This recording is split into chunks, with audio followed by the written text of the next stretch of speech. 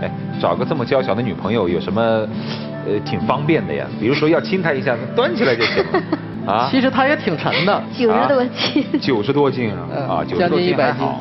在我心里，她跟正常人是一样的。那现在你的工作是？呃，我自从跟她处成对象了之后，就是把我现在的工作辞了。辞你原来什么工作原来是司机，给老板开车。啊然后就是辞掉了这份工作。你是他的经纪人呗？发工资吗？我就是个拎包的。发工资吗？发这么帅的助理，一个月一百块钱。一个月一百块钱还倒贴呢，啊！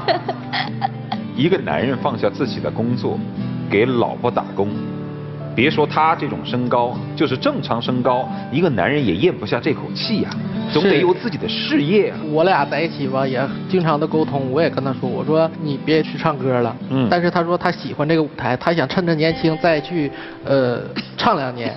但是吧，他自己现在到哪儿拎演出服啊、拎衣服啊、箱子什么的都不不是很方便，坐车什么的。所以说他说，就让我给他两年时间，让他让我陪着他去出去那什么。所以你就奉献呗。对，现在已经是第三年了。你们家钱谁管？我你还不信任人家？不是啊不信任，是应该都是经纪人管嘛，对吧？当家的就应该是女人嘛，主内主外其实。只要她开心，怎么样都好了。你怪不得你吃这么胖啊！原来他对你好。你今天会有什么样的心愿？我想听一下。我来说，那就麻烦你把你抱下来啊！来，上前一步，说出你的幸福心愿。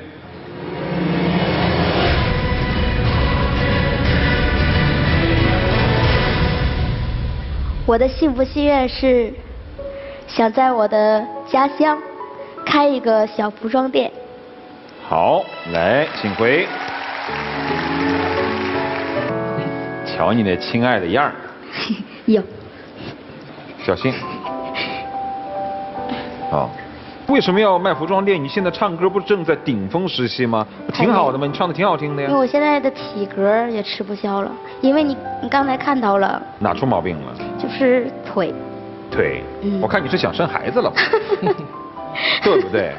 到了生孩子的年龄了，嗯，因为我想做一个正常女人的生活，但是你开什么不好？你为什么会偏偏选择开服装店呢？是你有什么优势吗？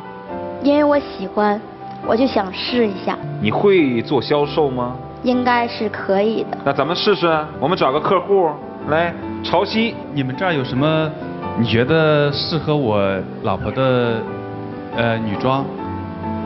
女装，对，或者内衣啊什么的，因为我没有经验，我想问问你。那我给你介绍这一款吧。嗯嗯这一款特别特别的好，它的质量啊，它的舒服度都特别特别的好，因为它这个，嗯、你看你不会做销售吧？做销售首先要问客户的需求。你老婆多大年纪啊？你得问她的自己的需求啊。嗯你以为做销售那么好做呢？现在卖服装店的人多了，对不对？而且而且现在线下的实体店。